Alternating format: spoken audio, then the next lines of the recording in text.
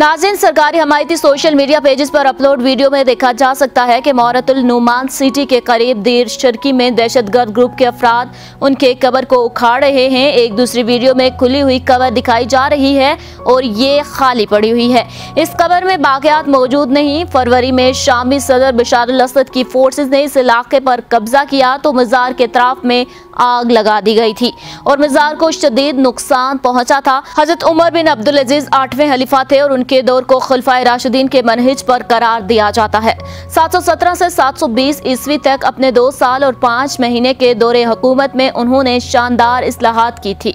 उन्होंने वही तर्ज अमल अख्तियार किया जो हल्फाए राशिदीन का था। आपकी वालदा मोहतरम उम्म आसिम अमीरमिन सैदना उमर बिन खिताब की पोती हैं। वाक़े के खिलाफ दुनिया भर के मुसलमानों में गम गुस्से की लहर दौड़ गई और इस वाक़े के जिम्मेदारों के खिलाफ कार्रवाई का मुतालबा किया जा रहा है। मुफ्ती मुनीबुर रहमान ने अपने रद्दमल में कहा कि दहशत गर्दों ने हज़रत उमर बिन अब्दुल अज़ीज़ और उनकी अहलिया की कब्रें खोल कर आग लगा दी है। उन्होंने अपने ट्वीट में कहा कि ये एक नाकाबले बर्दाश्त अमल है। बुजुर्गान दीन और शेर इस्लाम के मकबरे को आग लगाना जुल्म है। हमारे हुक्मरानों को इस कभी अमल पर सख्त एक्शन लेना चाहिए। हज़रत उमर बिन अब्दुल अज़ीज़ फोत हुए तो कैसे रूम बजनती एम्पायर के बादशाह ने कहा कि ये अगर ईसाई होते, हम इनको राहब सेनेट का दर्जा देते। आज दहशतगर्दों ने बाकियात को कब्र से निकाल कर जला दिया, क्योंकि उमर बिन अब्दुल अज़ीज़, उमर बिन खताब का नवासा हम नाम है। हमें फख्र है कि अपने ऐसे इस्लाफ पर जिन्होंने कुफर पर ऐसे वार किए, जिसके लिए सदियों बाद दुश्मन को हथियार समेत बोसीदा कब्र पर हमला करना पड़ा। उमर बिन अब्दुल अज़ीज़ की ज़रूरत को सलाम उन पर लानते हूँ, जिन्होंने कब्र की बेहरमती की है। डॉक्टर कारी अहमद मियाँ ने वाक़े की की भरपूर मजम्मत की और कहा कि उम्मत मुसलमा को इस हवाले से मुतहद होकर लाया अमल अपनाना चाहिए।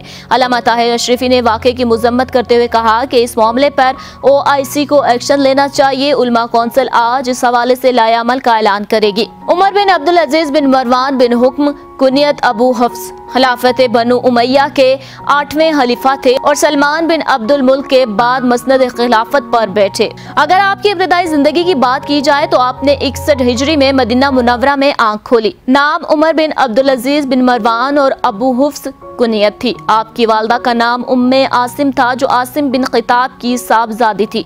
गोया हज़रत उमर फारूक की पोती हुई। इस लिहाज से आपकी रगू में फारूकी खून था। छह सौ इक्यासी हिजरी को मदीना मुनवरा में पैदा हुए उनके वालिद मुसलसल 21 बरस मिस्र के गवर्नर रहे। दौलत सरवत की फरौनी थी, लिहाजा नाजो नईम के माहौल में आपकी परवरिश हुई, जिसका असर खलीफा बनने तक कायम रहा। वो एक नफीस सब खुशपाश मगर साले नौजवान थे। अहद शबाब में अच्छे से अच्छा लिबास पहनते, दिन में कई पोशाक तब्दील करते, खुशबू को बेहद पसंद करते, जिस राह से गुजर जाते, फिजा महक जाती। इन जाहरी अलामत को देखकर इस अमर की पेश गोई नहीं की जा सकती, जो खलीफा बनने के बाद ज़ाहिर हुई। लेकिन चूँकि तबीयत बचपन से ही पाकिजगी और जहद तकवा की तरफ़ रागिब थी, इसलिए ये ज़ाहरी इसबाब और निशात उनको कतन मुतासर न कर सके। उनका दिल हमेशा अल्लाह ताला की अजमत और खौफ से लिब्रेज रहा। पाकिजगी नफ्स और तकदस आपकी शख्सियत का एक नहायत ही अहम और खसूसी वस्फ था। आपके वालिद ने आपकी तालीम और तरबियत की तरफ़ खसूसी तवज्जो दी। मशहूर आलिम और मुहदस साल बिन केसान को आपका अतलिक मुकर किया। इस दौर के दीगर अहले इल्म मसलन हज़रत अनस बिन मालिक साहिब बिन यजीद और यूसुफ बिन अब्दुल्ला जैसे जलील कदर सहाबा और ताबीन के हल्का दर्स में शरीक हुए। बचपन में ही कुरान करीम हिफ्स कर लिया और कुरान और हदीस और फिक्का की तालीम मुकम्मल करके एक खास मुकाम हासिल किया। इसे तालीम और तरबियत का नतीजा था कि आपकी शख्सियत इन तमाम बुराइयों से पाक थी, जिनमें बेशतर बनु उमैया मुबतला थे। निगरानी का ये आलम था कि एक बार उमर नमाज़ में शरीक ना हो सके। उस्ताद ने पूछा तो आपने बताया कि मैं उस वक्त बालू को कंगी कर रहा था। उस्ताद को ये जवाब पसंद ना आया और फ़ौरन वालिद वली मिस्र से शिकायत लिख दी। वहाँ से एक खालिश आदमी उन्हें सजा देने के लिए मदीना आया और उनके बाद उनसे बातचीत की। आप तबन साले और नेक थे। इसके निशानदही इनके उस्ताद सोहल बिन कैसान अब्दुल अज़ीज़ के साथ एक मुलाकात के दौरान अल्फाज में कर चुके हैं। यही वजह थी कि खिलाफत से पहले जब कई दीगर आला अहदों पर आपको फायज किया गया तो उन्होंने अपनी इस नेक नफसी और खुदा खोफी की रविश को कायम रखा। अब्दुल मुल्क ने हमेशा उनको दीगर शहजादों से ज़्यादा प्यार और मोहब्बत और कदर मंजिलत की निगाह से देखा और अपने भाई अब्दुल अज़ीज़ की वफात के बाद अब्दुल मलिक ने अपनी चहती बेटी फातमा की शादी उम्र से करा दी। इसी वजह से बनु मैया में उम्र के वकार में मजीद इजाफा हुआ। 707 में वलीद बिन अब्दुल मुल्क के कहने पर आपने मदीना की गवर्नरी इस शर्त पर कबूल की कि वो अपने पेशरू हुक्मरानों की तरह लोगों पर जुल्म और ज्यादती ना करेंगे। वलीद ने भी इस शर्त को कबूल किया और कहा कि आप हक पर अमल कीजिए गो हमको एक दरहम भी वसूल ना हो। जब मदीना पहुँचे तो अकाबर फिकाह को जमा करके कहा कि मैंने आप लोगों को एक ऐसे काम के लिए तलब किया है जिस पर आप लोगों को सवाब मिलेगा और आप खामी हकदार करार पाएँगे। मैं आप लोगों की राय और मशवरे के बगैर कोई फैसला नहीं करना चाहता। बस आप लोग किसी को जुल्म करते हुए देखें या आप लोगों में से किसी को मेरे आमिल के जुल्म का खल मालूम हो तो मैं खुदा की कसम दिला कर कहता हूँ कि वो मुझे तक इस मामले को ज़रूर पहुँचाए। तमाम अखलाकी खूबियों के बावजूद तबीयत अभी तक शाहाना वकार और अतवार से बरकरार रखी हुई थी। चुनाचा जब मदीना आए तो आपका जाती सामान तीस ऊँटों पर लद कर आया। 707 से 713 तक मदीना के गवर्नर रहे। इस दौरान आपने अदलो इंसाफ से हुकूमत की और अहले हुजाज के दिल जीत लिए। मस्जिद नबी की तामीर आपके जमाना गवर्नरी का शानदार कारनामा है। 713 में वलीद ने उन्हें मदीना की गवर्नरी से अलादा कर दिया। सलमान आपकी शख्सियत से बेहद मुतासर था, चुनाचा उसने वफात से पहले आपको खिलाफत के लिए नामजद कर दिया। बार खिलाफत में 718 में बाबिक के मकाम पर जो फौज की इज्तमागाह थी, सलमान बिन अब्दुल मुल्क बीमार हुए। जब ज़िंदगी की कोई उम्मीद बाकी ना रही तो अपने वज़ीर रजा बिन खवा को बुलाकर अपने जानशीन के बारे में राय ली। सलमान ने रजा के मशवरे के मुताबिक उमर बिन अब्दुल अज़ीज़ और यजीद बिन अब्दुल मुल्क को अल तरतीब अपना जानशीन मुकर करके एक वसीयत नामा लिखा और महर बंद करके काब बिन जाबिर अफसर पुलिस के हवाले किया और वो इस वसीयत नामे पर बनु उमैया से बैत ली। चुनाचा सलमान की ज़िंदगी ही में राजा बिन हवात ने इस पर बैत ली, लेकिन चूँकि सलमान को बनु उमैया की तरफ़ से खतरा लाक था, इसलिए मरने से पहले रजा को दोबारा बैत की ताकीद की। इस दौरान खलीफा की मौत वाक़ हो गई। रजा को खदशा था कि बनु मैया आसानी से उमर बिन अब्दुल अज़ीज़ की खिलाफत कबूल ना करेंगे, इसलिए कुछ देर के लिए सलमान की मौत को छुपाए रखा, ताकि आयका व आबिक की जाम मस्जिद में अफराद बनु उमैया को जमा करके दोबारा बैत ले ले, इसके बाद वसीयतनामा खोल कर पढ़ा गया। जब ऐलान खिलाफत हो रहा था तो इस वक्त इन्ना की दो आवाज़ें बेक वक्त सुनी गई। एक बशाम के मुँह से, जिसे हुकूमत खो जाने का गम था। दूसरे उमर बिन अब्दुल अज़ीज़, जिन्हें हुकूमत मिल जाने का अफसोस था। हशाम ने बैत से इनकार किया तो रजा ने इसे डांट दिया और कहा, उठो, बैत करो वगरना तुम्हारा सर कलम कर दूँगा। ये कहकर उमर बिन अब्दुल अज़ीज़ को पकड़ कर मिम्बर पर खड़ा कर दिया। इसके बाद उमर बिन अब्दुल अज़ीज़ इस अजीम ज़िम्मेदारी के उठाने से लर्जा थे। खलीफा मुकर होने के बाद आप पर घबराहट का आलम तारी था। आप खुद इसके ख्वाहिशमंद न थे। उनके नज़दीक खिलाफत वारसी नहीं, बल्कि एक जमहूरी इदारा थी। लिहाजा सलमान के दफन करने के बाद मस्जिद में आए मेंबर पर चढ़े और लोगों को मुखातिब करते हुए कहा, लोगो, मेरी ख्वाहिश और आम मुसलमानों की राय के बगैर मुझे खिलाफत की ज़िम्मेदारी में मुबतला किया गया है। इसलिए मेरी बैत का जो तो तुम्हारी गर्दन में है, खुद इसे उतार देता हूँ। तुम जिसे चाहो अपना खलीफा बना लो। ये तकरीर सुनकर सबने बुलंद आवाज़ से कहा, हमने आपको अपने लिए पसंद किया। और आपसे राज़ी हो गए। इसके बाद आपने खुदा और उसके रसूल के अहकाम के मंशा के बयान करने के लिए लोगों से कहा, है लोगों, जिसने खुदा की अतात की, उसकी अतात इंसान पर वाजिब है। जिसने खुदा की नाफरमानी की, इसकी नाफरमानी लोगों पर ज़रूरी नहीं। मैं अगर अल्लाह ताला की अतात करूँ तो मेरी अतात ज़रूर जानो, और अगर मैं खुदा की नाफरमानी करूँ तो मेरी बात ना मानो। लोगों ने एक बार फिर आपकी तायद की। इस तरह बैत आम रिपीट इस तरह बैत आम हासिल करने के बाद आपने खलीफा इस्लाम की हैसियत से अपने काम का आगाज़ किया। खलीफा मुकर होने के बाद जब आप आवाम के सामने आए तो लोग उनके एहतराम में खड़े हो गए। उमर ने लोगों को मुखातिब करते हुए फरमाया, है लोगो, अगर तुम हमारे एजाज़ में खड़े हो गए तो हम भी खड़े हो जाया करेंगे। अगर तुम बैठोगे तो हम बैठेंगे। लोग खुदा के हजूर खड़े होते हैं। अल्लाह ताला ने कुछ बातें इंसानों पर फ़र्ज़ की हैं और कुछ सुनन करार दी। जिन्होंने उनकी पाबंदी की, वो कामयाब हुए और जिसने उनका लिहाज ना रखा, वो तबाह हुए। खिलाफत का बारगिरा उठाते ही फ़र्ज़ की तकमील के एहसास ने आपकी ज़िंदगी बिल्कुल बदल कर रख दी। वही उम्र जो निफासत पसंदी और खुश लिबासी में अपना सानी नहीं रखते थे, जो खुशबू के दिलदादा थे, जिनकी चाल अमीराना आन बान की आयनादार थी। जिनका लबास फाखराना था, अब सरापा आजिज नयास थे। सलमान की तजहीज तकफीन के बाद पलटे तो सवारी के लिए आला तरीन घोड़े पेश किए गए, मगर हज़रत उमर बिन अब्दुल अज़ीज़ ने इन पर सवार होने से इनकार कर दिया और कहा कि मेरे लिए मेरी खच्चर काफ़ी है और उन्हें वापस बैतुलमाल में दाखिल करने का हुक्म दे दिया। जब अफसर पुलिस नेजा लेकर आगे आए तो उसे हटा दिया और कहा कि मैं भी तमाम मुसलमानों की तरह एक मुसलमान हूँ।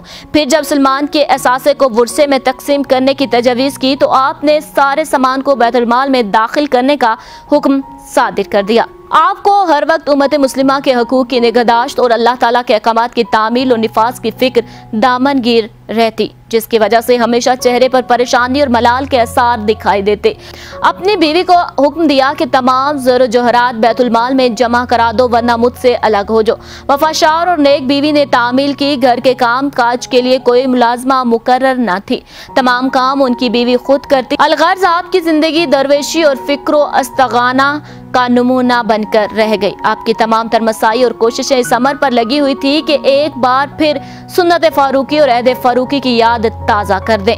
आप इस पाकिजा ज़िंदगी और कारहाय नुमाया की बदौलत ही पाँचवें हलीफाए राशिद करार पाए। आपने अहले बैत के साथ होने वाली ज्यादतों का अजाला किया, उनकी जब्त की हुई जायदादें उनको वापस कर दी। हज़रत अली पर जुमा खुतबा के दौरान लान तान का सिलसिला ख़त्म कर दिया और इन पर ढाए जाने वाले मुजालिम का खात्मा कर दिया। अहिया शरीयत के लिए काम किया बैतुलमाल को खलीफा के बजाय अवाम की मलकियत करार दिया। इसमें से तोहफा तहाफ और इनाम देने का तरीका मौकूफ कर दिया। आपके दौरे खिलाफत की अगर खसूसियात की बात की जाए तो खिलाफत से पहले उमर बिन अब्दुल अज़ीज़ के सामने तीन हज़ार दिरहम का लिबास पेश किया गया तो आपको पसंद आया। बनु मैया के हुकूमत के बानवे साल दौर में हज़रत उमर बिन अब्दुल अज़ीज़ की खिलाफत के ढाई साल तारीकी में रोशनी की हैसियत रखते हैं। आपका जमाना हज़रत अबू बकर सदीक रज़ी अनहो की तरह बहुत ही मुख्तर था, लेकिन जिस तरह अहद सदीकी बहुत अहम जमाना था, इसी तरह हज़रत उमर बिन अब्दुल अज़ीज़ की खिलाफत का जमाना भी आलम इस्लाम के लिए कीमती जमाना था। हज़रत उमर बिन अब्दुल अज़ीज़ का सबसे बड़ा कारनामा ये है कि वो खिलाफत इस्लामिया को खिलाफत राश्ता के नमूने पर कायम करके अहद सदीक सिद्दीकी और अहद फारूकी को दुनिया में फिर वापस ले आए थे। रजब 101 हिजरी मुताबिक जनवरी 720 में आप बीमार पड़ गए। कहा जाता है कि बनु मैया ने आपके एक खादिम को एक हज़ार अशरफियाँ देकर आपको जहर दिलवा दिया था। आपको इलालत के दौरान ही इसका इल्म हो गया था, लेकिन आपने गुलाम से कोई इंतकाम न लिया, बल्कि अशरफियाँ इससे लेकर बैतुलमाल में दाखिल करवा दी और गुलाम को आज़ाद कर दिया। जहर देने की वजूहत में एक तो ये बात शामिल थी कि आप खुलफा राशिदीन की मांद खिलाफत के अमूर चलाए थे। दूसरा ये कि उनकी वजह से बनु मैया अपने मखसूस माली लूट मार नहीं कर सके। क्योंकि हज़रत उमर बिन अब्दुल अज़ीज़ बैतुलमाल को मुसलमानों की इमानत समझते थे, तबीयत बहुत ख़राब हो गई तो आपने अपने बाद होने वाले खलीफा यजीद बिन अब्दुल मुल्क के नाम वसीयत लिखी। जिसमें उन्हें तकवा की तलकीन की 25 रजब 101 हिजरी मुताबिक 10 फरवरी 720 को आपने अपना सफ़र हयात मुकम्मल कर लिया। इस दौरान आपकी उम्र सिर्फ़ उनतालीस साल थी। आपको खलब के करीब दिर समान में सुपुर्द हक कर दिया गया जो शाम में है। आपने अपने मुख्तर दौरे खिलाफत में रया की फला बबूद के लिए भी वसी पैमाने पर इकदाम किए। खलीफा बनने से कबल नौ मुस्लिमों से भी जजिए वसूल किया जाता था। आपने इसे जुल्म करार देते हुए इसकी ममानत करा दी। इस पर सिर्फ़ मिस्र में इतने लोग मुसलमान हुए कि जजिए की आमदनी घट गई और वहाँ के हाकिम ने आपसे शिकायत की कि आमदनी कम होने की वजह से कर्ज लेकर मुसलमानों के वजीफे अदा करने पड़ रहे हैं, जिस पर आपने लिखा कि जजिया बहरहाल खत्म कर दो।